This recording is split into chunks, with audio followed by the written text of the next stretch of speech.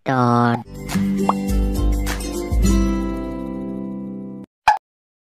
Kesel banget sama polisi di Jakarta. Ini yang kalau nilang ini nggak ken... Aduh, kalau nilang ini sok galak, sok kasar.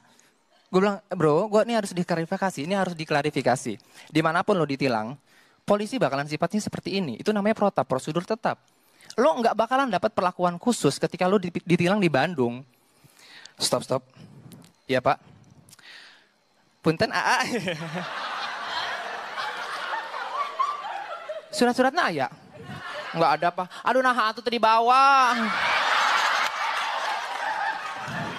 Dibawa dong. Ya udah sana pergi besok dibawa ya. Eh stop dulu.